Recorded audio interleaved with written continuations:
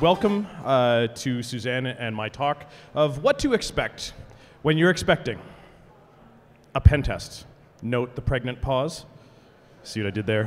Ha ha ha ha. Ba-doom boom. All right. So uh, we've got a lot to talk about, and we want to make sure that we uh, we get through it. So, uh, who are we? You're up, Suzanne. I don't know, Larry. Who are we? All right, my name is Suzanne Pereira, and I'm the Director of Operations at InGuardians. And what that means in a small little nutshell is I'm in charge of all the operations project management.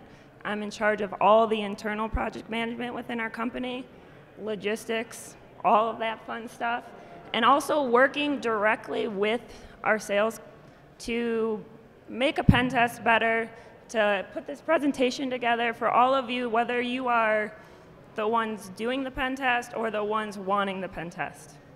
Excellent. And I'm uh, Larry Pesce. I'm the uh, Director of Research and Senior Managing Consultant at InGuardians.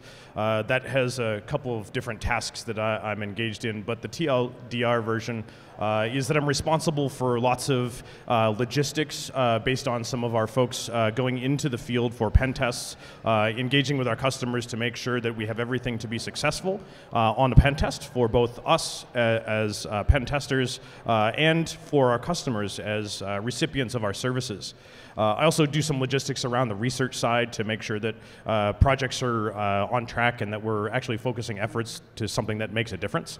Uh, and I'm also, despite the fact that I have a director and manager uh, in my title, uh, I'm also an agent in the field and easily spend 50% of my time, if not more, uh, actually doing billable technical work.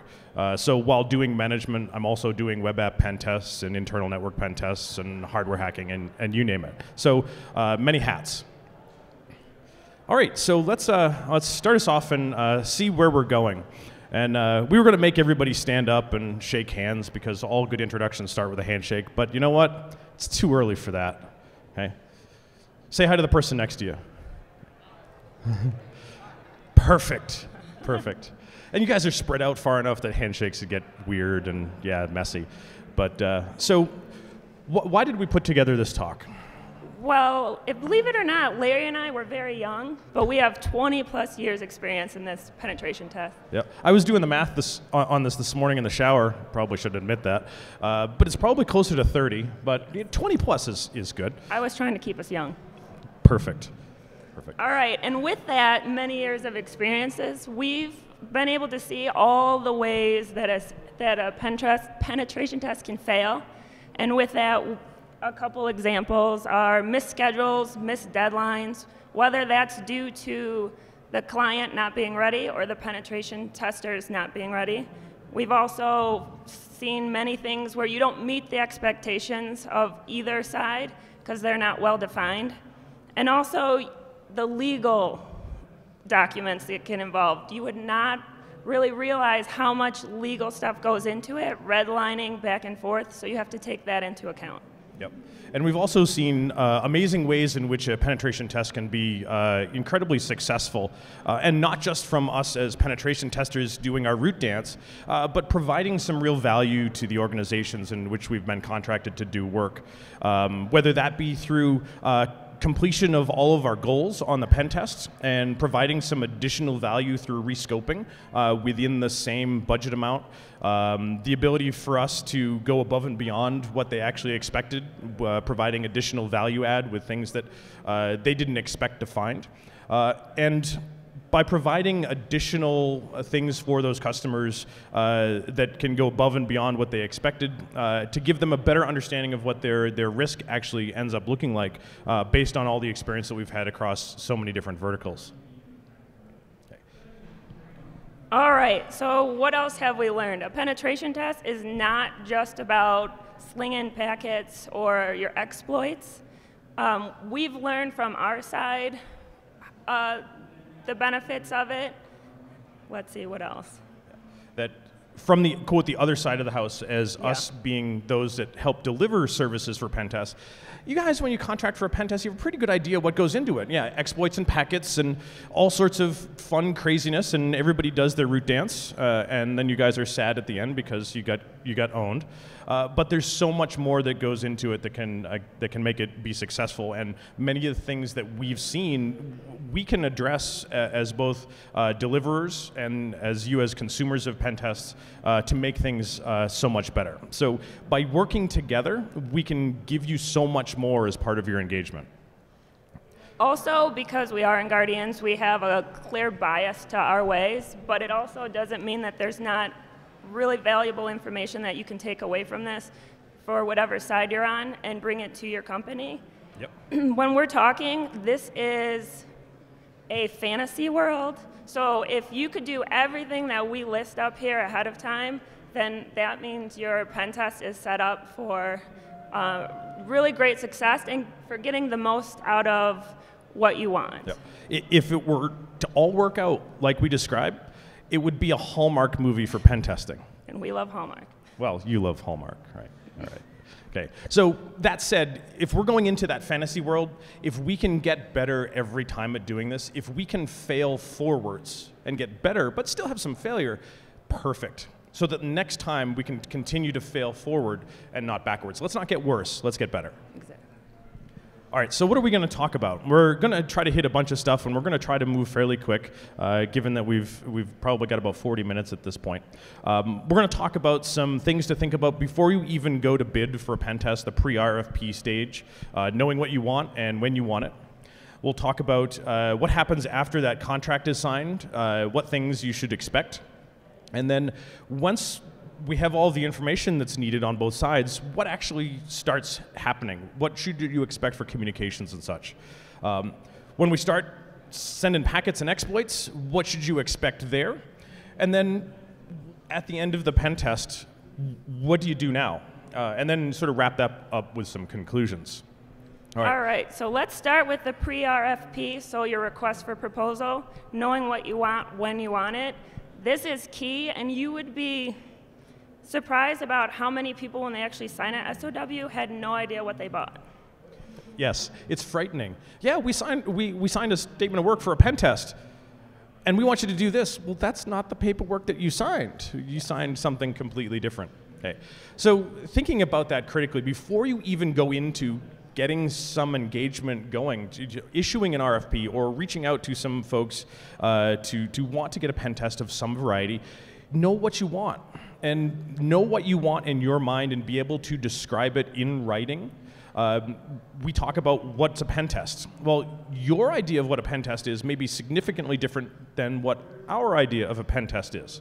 Uh, and it, it's an industry standard term, but many folks define that differently. In some cases, a pen test is significantly more like a red team, in that there's lots of physical involved. So check uh, with your vendors and see how they define it. And then have your definition go into that rfp as to what you expect this engagement and to entail. Absolutely. Also ask to see sample reports. This is very important. When you're planning this plan for the whole thing. So you want to see what you're going to be left with and then you'll also see why prices are different. So if you're going to be left with a sample report or a report at the end, know that you're getting value for what you're paying for. Yep. And go uh, go review BB King's talk yesterday uh, on reporting, and take that advice and compare that to those sample reports that you get. So ama- amazing advice from BB yesterday. All right, some other stuff. Know exactly what you want tested. You know how many times we go into a, a, a, kickoff call with a customer and they sign a statement of work that they want an external pen test, and they have no idea what they actually wanted tested. Do they want a, a web app pen test? Do they want an external network pen test? They don't even know how many IP addresses should be in scope. Like they made a guess for their RFP, but then when it comes down to it, it's significantly more or less do uh, the inventory up front of what the hardware is, what the you know operating systems are, uh, all the fully qualified domain names for all the websites that are potentially in scope. If you're doing phishing, what are the email addresses that you're potentially going to want to target, and remove the ones that you don't want targeted. It's amazing how much work you can do up front to, to make some of this a success. Also, ask your stakeholders. Ask the people actually there working. A lot of times you have a technical buyer or someone that puts your RFP together, but they don't really know what your, the concerns are within your organization. Get those people involved so you get a test that you want. And doing this up front, you know you need a pen test. You have money in the budget for a pen test, and next thing you know, it's Q4. Have you ever tried to schedule a pen test Q4? For 2019. Yeah. So has everyone else. yes, Q4 is arguably our busiest season, and uh, also Q3 because those organizations that have their uh, their end of year end in October. Uh, that they want everything done by October or uh, December so they can get it in their current budget year. Um, get all this information in January. If your budget is approved in January, you know you're going to have the pen test. Figure out what you want early so that when you finally get to Q3 or Q4, you're ready to go and you can have significantly better success and without delays. The other thing is great pen test companies fill up fast. So if you want a pen test in a week or two, you're not going to go with the great company unless unless they happen to have a, a opening, and that's rare. All right, again, some more on the RFP advice. Uh, don't use the buzzwords, and if you do, make sure you define them, describe what you want, because our definition of what that buzzword is may be significantly different than what you expect that it is. And we want to make sure that we give you what you want, and that when we see that language in an RFP or that discussion, uh, that we can tailor what our documents and what the scope for, for the testers is actually supposed to be. And also, if you're a vendor, if you're the vendors that actually are doing the penetration test, talk to your sales team about this too. Let them know that sometimes the client doesn't know what they're saying, so get a description of it so that internally you guys know what it's called. You can call it whatever they want. Yep, exactly. So some other things to think about. Why are you actually engaging someone to do a pen test or have some sort of uh, testing activity in your environment? Uh, stating this up front to the folks that uh, you're looking to work with gives them a better frame of reference for how they may want to consider scoping it, uh, how that will eventually affect cost, what the report should look like, some things that we think about going into the engagement to make sure that we're capturing all of the risk points uh, for you. Is it something that's uh, you know audit or compliance driven? Uh, did you have an incident and you're now going back and doing some additional due diligence? Uh, or is it just an overall commitment to security? Uh, all of those things will, will help upfront um, to, to give you a better test, communicating those with your vendors. All right, so some more, uh, again, back to that whole inventory, accurately describe the environment and its technical components. Also, evaluate your resources and when they're going to be available. Know ahead of time if you have blackout dates, because you can't schedule during that. Also, know if you have specific times of the day that you're allowed to test or you're not allowed to test, because many times we have companies that know that hackers don't test during business hours, so they make us test at night. Know that up front. If your company is going to do that, that's better known up front and out there instead of the day of the test. Yes, because if you think about uh, some of your testers, uh, and you go through the whole process, you, you have a signed contract, and uh, the, the day comes to start uh, actually doing the testing, and, and you tell your vendor uh, who's doing the pen test, hey, by the way, we can't start testing until 5 p.m. Eastern, uh, non business hours. and at that point, those folks that are engaged in doing that testing, have been up since 6 a.m. getting their kids on the bus, and now have been ready to work all day, and well, now they have to work all night too. That that stinks. And sometimes you have to swap out resources to make that happen uh, because you've drastically changed the schedule. Know that up front when and at what times you can do that. And don't assume you know that. Please ask your company because Yes. sometimes you would assume you can do it during business hours, and the the higher ups come down and say, no, we don't want anything going on during our normal hours. This is this is again why having some of the stakeholders for uh, these systems that are both asking for the test and having their systems tested uh, involved up front is really important. Okay. Some other things. Which environment are you going to test? Are you going to test your development environment? Are you going to test your test environment? Uh, and how closely do they relate to your production environment? Are you going to test your production environment? And then what happens when something goes wrong in your production environment? Yes, not, not a good time. All right, the fun stuff paperwork, paperwork, paperwork. Expect to sign a mutual NDA. If you don't get offered this or asked about it, be concerned because you're sharing valuable information with maybe multiple vendors. They should want to keep that confidential. You should want to keep it confidential. And this is very much, it's a mutual NDA, it's a two way street. You're offering potential information to someone that's going to come a pen test you.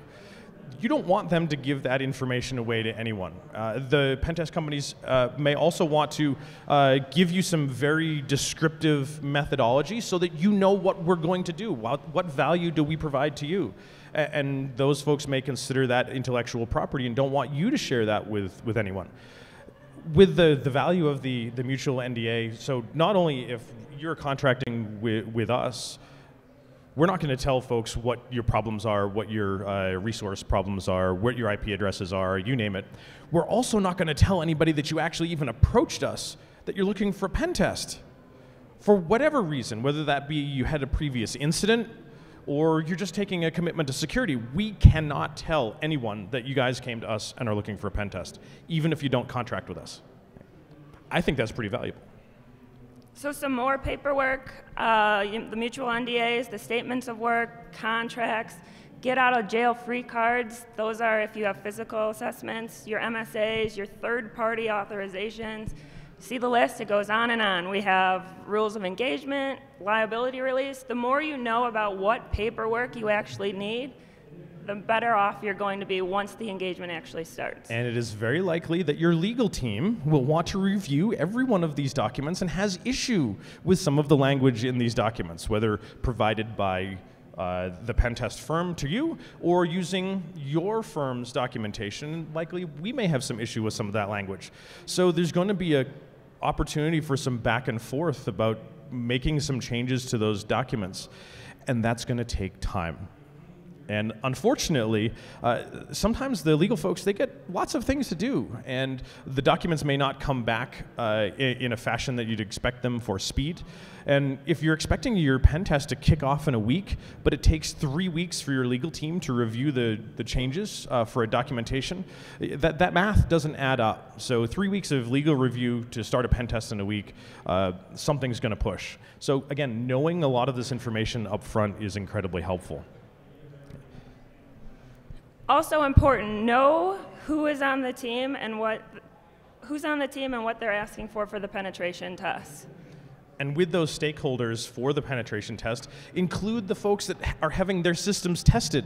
They have all of the institutional knowledge about what's there, what the potential problems are, and what they need to do to have some of the, the stuff tested from, from an access perspective, or, or what components are in the system. So having that uh, up front is good and also having all of those people there, you get a much better understanding of actually what they want tested and, and why. And that goes back to some of our uh, additional uh, motivation.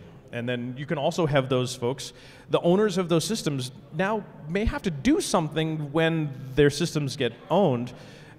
Now's a good time to some, set some commitments as to what they're going to do for some remediation and what sort of timelines that may potentially look like. Also decide then if you want a white box or a black box and how much information you want to give. Again, this is better set ahead of time instead of on the kickoff call and then having an argument internally on the call. If you know this stuff ahead of time, it will set you up better. Plus, you can you can factor that into your budget if it's going to be white li- white box or black box. Black box will take significantly longer time to complete, given that well now you've got to go figure out all that information from the from the pen tester's side, which eats into potentially engagement time for actually making quote pen test magic happen. Um, some other things. Uh, do you want to whitelist your, your testers? What's the point of your engagement? Are you looking to determine what your detection capabilities are uh, from when a pen test happens? Or are you looking to find the problems in your environment to fix? And, and these are both valuable. Uh, be uh, willing to be flexible for some of that whitelisting. Are you testing detection capabilities? Great, we can detect you. Great, now whitelist us and tell us how we should proceed so that we can find all the other issues in your organization to provide you the ability to address those risks uh, so that you can get to the root cause of some of the, the problems. So thinking about a hybrid approach there may also be quite good. Other things you want to decide and consider is do you want them to come on site Do you want, depending on what kind of assessment is, do you want them to come on site? Sometimes that costs more, but sometimes it, add, it adds more value to your, to your organization to actually work with your pen testers. Do you want us to VPN, VPN in? Or do you want to do a Dropbox? Also, we, you could come in from a phish where you just click on a link. Knowing all that stuff up front, and even if you don't know that stuff, knowing to ask the vendor about ideas to best suit what you're looking for. Right. And some other things to think about, given any one of these scenarios, how you're going to get the testers access. How long will it take you to get it configured? Uh, from your organization as the recipient of a pen test, and how long will it take to get it tested? And if it doesn't work, are the people readily available to help troubleshoot?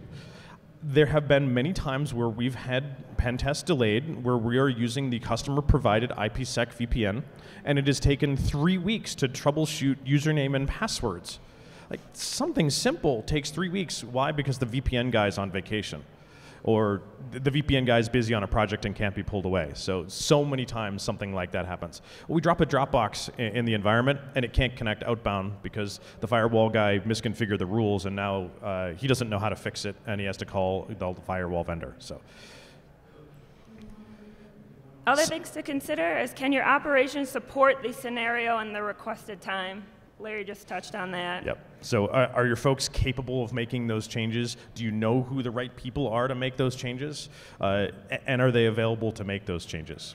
Also, if you have people on site, find them a space, find them a, uh, whether it be a conference room or an empty office, give them that space for the allotted time that they're there the whole week.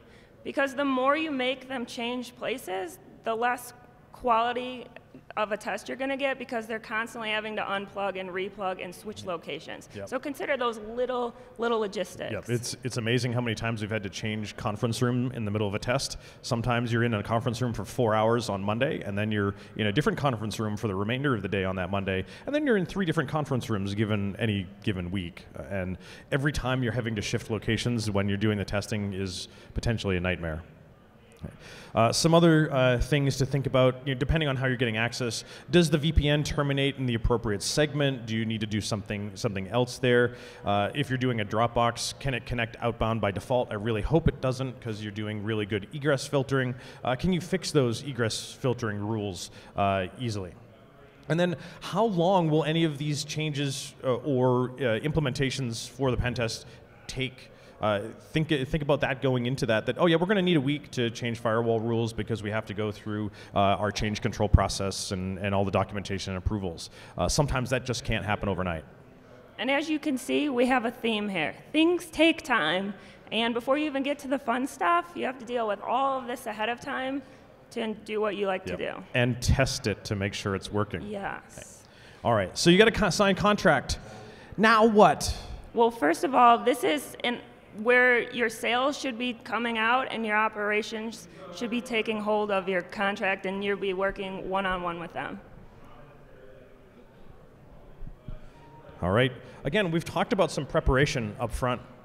And having all of that stuff prepared as part of your RFP process will really give you success after the contract is signed because you allegedly have all of the information that you need for your testers to pretty much begin right away. Um, make sure that the dates are going to be supported. You, you should know when some of the teams and some of the stakeholders are available for having that testing because you've asked those questions up front. This is also valuable to the folks that are now going to be delivering those types of tests because now we can get that worked into the schedule for which testers are going to be engaged and that you don't end up with some, some other, other problems. Also verify with your vendor on the actual schedule. Because so many times it may shift, or you might have a different idea of what the schedule is. Make sure you're both at the beginning on the same page of when it starts, when it's scheduled to finish, when you're supposed to receive that deliverable. So set those expectations from the start.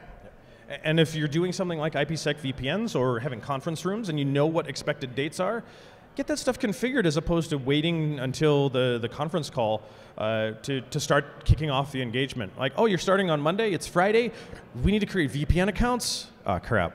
No, you knew this was coming. You could have had those VPN accounts created two weeks ago. The other thing you get stuck on are purchase orders. Just make sure those are in place or the right people are in the know to get that moving so that doesn't delay your testing. Because one of your stakeholders is working with the purchasing department, right? Yes, yes. All right. So some, we're going to talk about some other information before testing as well. Okay. All right. So from our side as deliverers of pen tests, if much of this stuff isn't delivered by the time the scheduled date happen, is ready to go for us to start testing, if we don't have access to the environment, if we don't have all the documentation signed, if there isn't a conference room available, guess what can't start? The slinging of packets and exploits and all of the fun pen test magic. Uh, this is where the schedule really uh, becomes time crunch by having all of that stuff done up front because we can't start until we have access to the environment have all the paperwork signed. So if something happens and those uh, resources are not available the time frame will push. If we don't have authorization to test signed on the day we start testing guess what we can't test? Anything so then we have to change the schedule maybe we have to push the testing window out a week and then those resources that we assigned as a deliverer of a pen test uh, may not be available. They're already assigned to another engagement. And then, then you guys feel like, well, you told us Larry was going to be working on that pen test, but we shifted forward a week, and now Larry's not working on it. So you guys did a bait and switch on us. It's not our intent. It's just that now the schedule has changed, and Larry's not available. Larry's on vacation next week, and we're not going to ask him to cancel his vacation uh, because some piece of information got missed that, if we were informed about it, could have been uh, addressed up front. All right, again, outside of the stakeholders, who else will be informed? If you're doing a red team, a lot of times that circle is really small. Know who those people are going to be and let your vendor know and make sure that in a kickoff summary or, or whatever gets pushed to you that it's listed there so it doesn't get out to the rest of your team that you don't want to know. We've had more than one. We've had lots of tests stopped. It was purchased the contract was signed it was scheduled it was ready to start slinging packets. And the, the purchasing uh, person at the organization, the technical buyer, uh, said to their, their boss, said, oh yeah, hey, we're starting the pen test on Monday. And I'm like, what do you mean the pen test is starting on Monday? You can't do that. We're doing this major go live and this is going to interfere. Oh, you mean we should have told you about that beforehand? Yeah.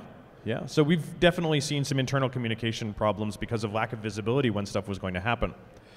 Some other ones when we think about going into phishing or whaling, whether it be for just a phishing engagement or a part of a red team, um, we're going to ask for you to approve our pretext. And we were talking about this uh, last night uh, with some folks that in many cases that pretext that we develop is too good. Yeah, I hate it when they when when people say that. Your pre, your pretext is too good. Your phishing attack is too good. Well, why is it too good? Well, in fact, we're actually sending that email tomorrow almost exactly the way you have worded it. So we're actually doing that real thing, and we don't want any confusion between between that. This is the I'm doing a phishing engagement next week, and that's exactly what happened. Oh, by the way, we're actually sending that email next week. You can't use that. You can't use that. Yeah. Um, some other ones too is know who can approve the pretext. We have definitely gone through and developed these amazing pretexts for these emails, and our technical buyer says, "Yeah, those are great," and they get sent in and human resources throws a conniption because we were targeting some human resources pretext. And human resources like oh my god why are we getting all these phone calls? And yeah let the folks in the know that this might affect uh, happen to that.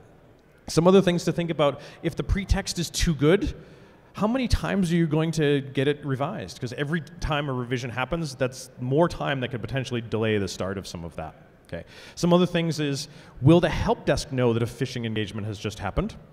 And will they keep mum about it, right? It, oh, they were, somebody reports this unusual email to the help desk, and then, oh my God, the flags go up and say, oh yeah, no, maybe the help desk tells the, the person, great, you can delete that and we'll begin looking into it. We've heard a couple of other reports and we'll see, we're, gonna, we're keeping an eye on it. Or are they just going to raise the red flag and send an email to all the users in the organization? Don't click on that. Yeah. What's the intended response? And knowing some of that up front is helpful. All right, communication, communication, communication. This is a big thing that I push at our company. But be prepared to have a call with your penetration um, testing firm.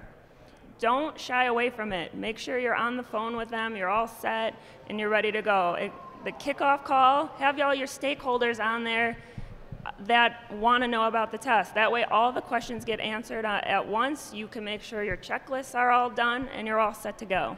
And everyone gets a chance to ask questions.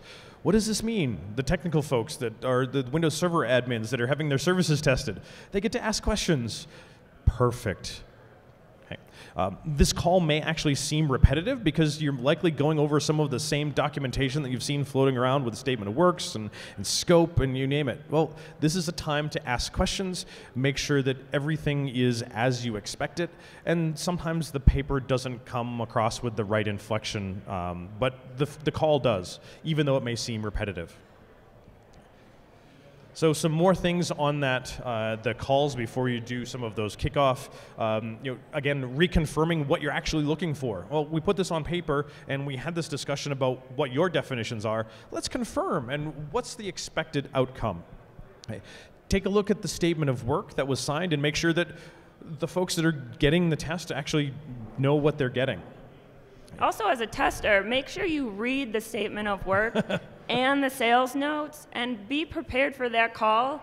To, that also helps with uh, scope creep. You'll know the answers if you read what you're doing and you don't assume it's just like everything else. Yeah.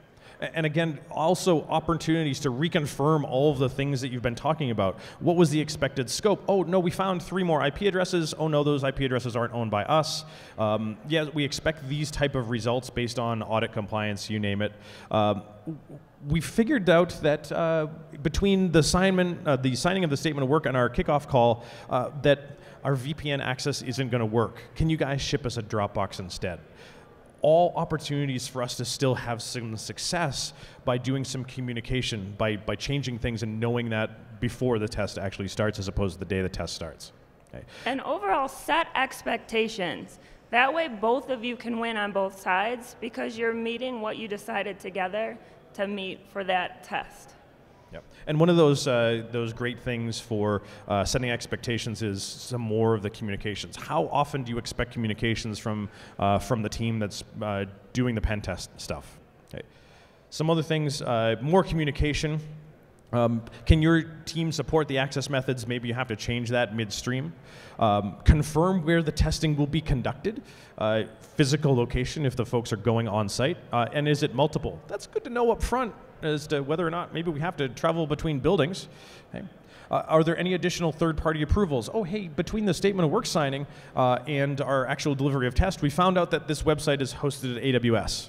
Oh, okay, great. Well, now we have a couple of days that we can get approval from AWS to do that testing. So any of those third-party approvals. Okay.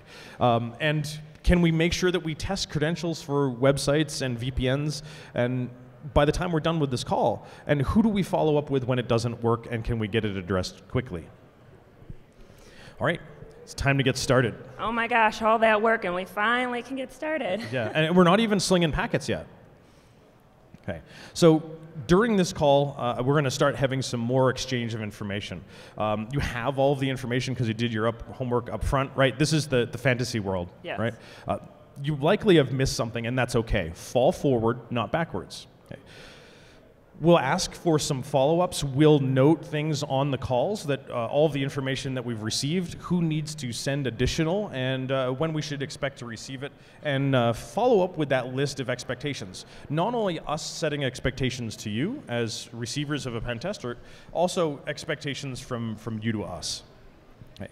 And some other things that we should be also noting uh, what do we need to actually uh, exchange in order to have a good pen test? So some of that stuff. Okay. Yes. All right, so to the testers, the people conducting the test, you want contact lists, which is the immediate contact information for if you have a high or a critical finding, so you can contact them right away. You also want a list of everyone else that they want you to talk to while you're testing so it doesn't get stopped. Technical details, depending on the testing type, yep. like Larry had said. Yeah. What are you gonna What are you gonna test? IP ranges, fully qualified domain names, uh, the URLs that are in scope, uh, any API documentation, sample API queries. Um, if there if phishing is involved, whether part of a phishing engagement or a red team, uh, are you providing the targets? Who do we contact to approve targeted lists? Um, some advice up front from you to us on appropriate pretexts. We don't know that you're launching that human resources uh, campaign for changing of medical insurance, but that's a great pretext that we love to use. Uh, tell us in advance about some of the things that you might like to see for some of those pretexts. Uh, transfer uh, authorization documents if you haven't done so already, and tested VPN and application uh, credentials to enhance success. And if you did it all prior, this is all easy. They just hand it right over to you. Yep. And or it's already done and we can check that off on the list and say, yeah, time to move on. Exactly. And some other things from the tester's side, what can we provide to, to you to enhance success? Well, again, contact lists. Who do you need to call when something is going wrong? Or more importantly, there's an outage in our environment that may have been caused by the testers, hopefully not, and we need you to stop immediately. Or we've detected this unusual behavior. Is it you? Sometimes it's not. We want you to stop until we can figure this out. And we're also going to let you know where our attacks come from. Yeah, not so that you guys can have an extra focus on finding those attacks. No, so when something does happen, you can tell whether it's us or not us. You know, did you detect it? Yeah. Or was it someone uh, you know from the Netherlands in, in their mom's basement actually successful exploit against your website? Uh, no, that wasn't us. So deconfliction. Who who was actually the one that you detected? Was it us or somebody else? Uh, and then finally, uh, an updated uh, and or defined communication schedule. How often are we going to communicate with you on some of our findings? Uh, is it going to be in, quote, near real time, or uh, is a single call or an email a day appropriate, or do you just want to sum up at the end of the week? All right, oops, what did I miss? So all of your research up front, like we said, you will miss something, but this is all meant for you to fail forward. So you're gonna go through that list and then see what items we need to collect so the test can get going. Yep. And things are going to happen. Mistakes are going to get made. We, we understand that. Uh, we forgot a network segment that you know adding that won't particularly impact the scope or uh, the the time frame. Not a big deal. Uh, and then sometimes things happen. We're humans. Uh, sometimes there's a family medical emergency, and the, the, folks that we need to interact with for the test um, have have some other thing that happened in their life that they're no longer available. There has been an occasion where our technical buyer actually became deceased between our kickoff call and the time of start of test. That was concerning. Uh, well, who do we call now and do they still want the test that one definitely got rescheduled, rescheduled because they had lots of other things that they needed to figure out yeah so things happen and, we can work with those things when they happen and you know but having that communication like oh yeah you can't start because uh, your technical buyer is no longer here uh, or he had a death in the family or she had a death in the family so things happen also on the credentials when you're a tester test those a week or two prior. Don't wait till the start date. If the if your company put those together and sent them over, do yourself a favor and them a favor and test those right away so you can keep working on them if they don't work. Yep. So if your, your kickoff call is more than a week before the start of the engagement and you tested the credentials that you sent over and then we test the credentials and it, something's different, there's still some time to fix it. And does that Dropbox connect back when it's there? All right time to sling some packets. Finally, the fun. Yes. Yes, you will get owned.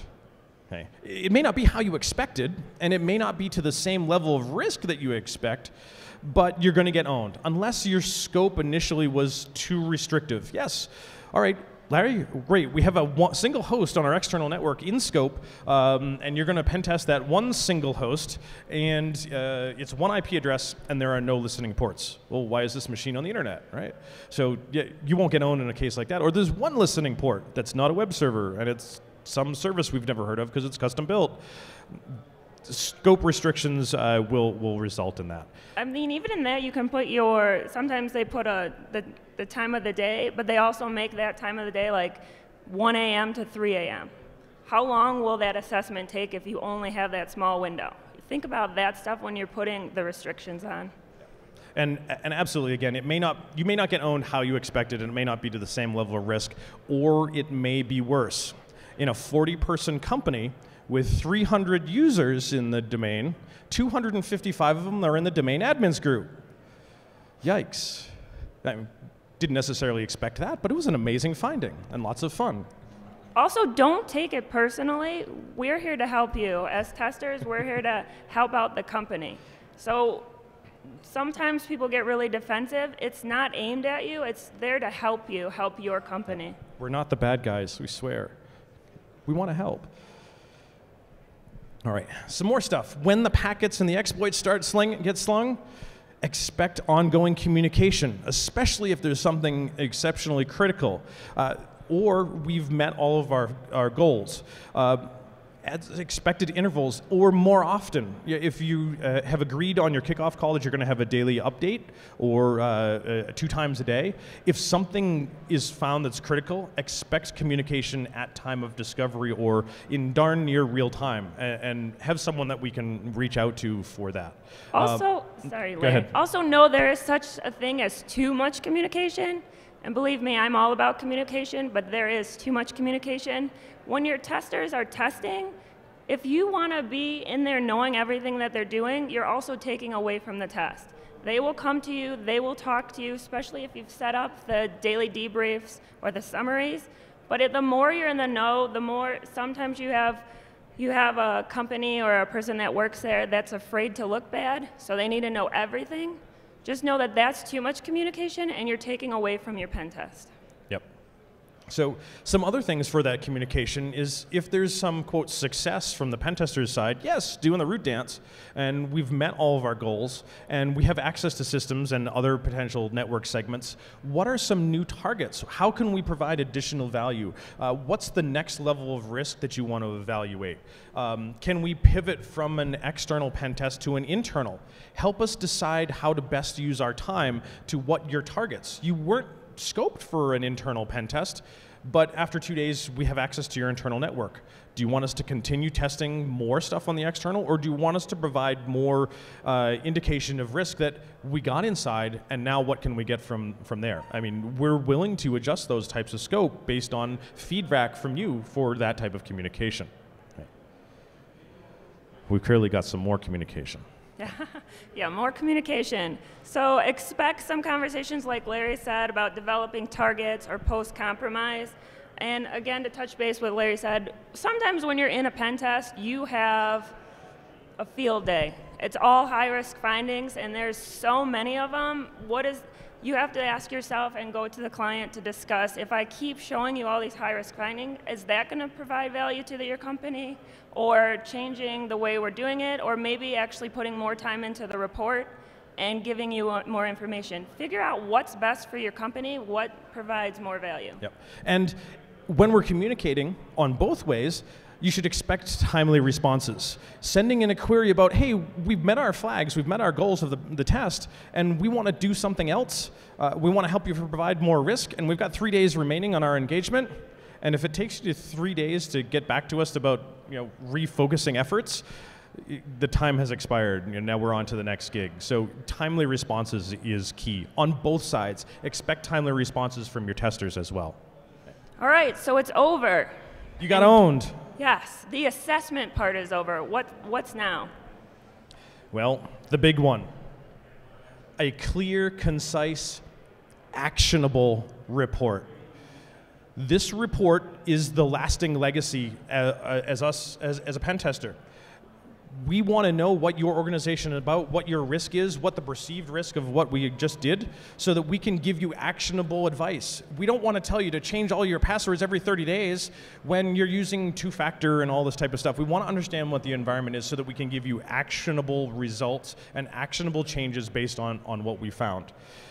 Also, expect as the person purchasing the test that you're allowed uh, your tester is going to come to you and maybe ask for reclarification on items. That way they can tailor the report to you. Exactly. So, hey, we, we compromise these things uh, and uh, we found this particular risk, and we're going to advise that you do this. Uh, does this make sense from your organization? This is how we understand it, but is it in fact different based on, on, on what you perceive in your organization? And maybe there was some details that didn't come across from some of that architecture perspective that you already have components that can address this, they're just not fully implemented. So maybe we change our recommendation based on that. Also expect uh, updates while we're writing the report. A lot of times the pen tester will go dark and not communicate with the client. Make sure that your timeline is still going and that they're still reaching out, letting you know the writing is going on. It went into internal editing. It will be to you by this set date. Keep that communication and know that it is expected from them. Yep, absolutely. All right. So, to reiterate, the report is incredibly important. When we leave as testers, you have a document. And that document may be the thing that your organization, from an IT security perspective, that's what they live and breathe for the next year to two years because they've got lots of work to do based on, on the, the risk and the findings and, and you name it. So, having a really good report is amazing to work from. And expect to be able to call the testing team up in some fashion to say, hey, wants a little bit of clarification on this thing, you know, six months down the road. And, and certainly good folks will be willing to do this. The big one is, is that if you want a good report and something that is, has great advice and is actionable, you're going to pay for it. Uh, I, as BB King said and, and others, if you're getting a Nessus output, that is not a report. That's output from a scan tool and may not necessarily be actionable. Uh, I did work with one of our customers that uh, said, Larry, you need to help us come in and help us guide the uh, resolution of all of the items uh, because our board has said everything in this report we need to remediate. And there were 350,000 findings in this organization because they were delivered their pen test report, which was output from Nessus, including all of the informational findings and the board said, You will resolve every one of these. I spent six months helping them figure out which ones they actually needed to remediate and which ones they could immediately risk accept. That was a great contract because I just got to read documentation for six months. And this is where your research up front and asking for those reports are going to prove valuable because when they leave, you know what that report is supposed to look like. Excellent. All right. And, and finally, uh, after the report, you get the report, expect to have a conversation with the testers and all of the stakeholders and all of the folks involved from both sides so that you can review the report with the team, ask any additional questions, uh, maybe ask for some revisions to the document for either more clarity. Uh, but don't expect to say, yeah, no, we don't agree that that's a finding, uh, and you should remove this from the report. Yeah, no, if we hacked it, it's a finding don't expect us to say, yeah, no, we didn't hack that when we clearly did and we have proof, because you know, that reflects badly on, on, us as an organization. Uh, from uh, uh, and then uh, legal liability should something ever happen uh, and they say, well, InGuardians or some other firm did the test and uh, they didn't find that. Well, yeah, actually we did, but you had us remove it from the report. So don't expect some of that type of stuff. Okay. So uh, coming up on the end, uh, the conclusions, this is the part where you can stop thinking, right? Okay. So thinking about some of the things that you need for success. Just remember to set those expectations and set them early. That way you all get to the goal of what you're wanting. Um, be flexible and communicate a lot. Right? And so much of the work that goes into delivering a pen test isn't the slinging of packets and exploits and, and, all the technical work. There's lots of work to be done up front. And start preparing that early. Uh, you're not ready for a pen test in six months? Well, great. We can now have plenty of time to get all of the folks involved, let them know it's coming, uh, figure out all of the technical details, ask some additional questions of all of our vendors, and, and do a lot of the work up front. All right, and uh, that's about it for us. Uh, but we did want to mention uh, we do have a weekly executive briefing email um, intended for C-level folks, just to, on a Monday to to give them some uh, ideas about what to think about in their organization, uh, with some uh, some technical details as well as some options for things to think about in your environment to do detection and or remediation. So that's at inguardians.com forward slash briefing, and we only send it once a week and no spam. stuff that you can use and is actionable. So uh, thank you very much, and uh, some contact information, and we'll be around for the rest of the weekend if you have any other questions. So thank you, guys. Thank you very much.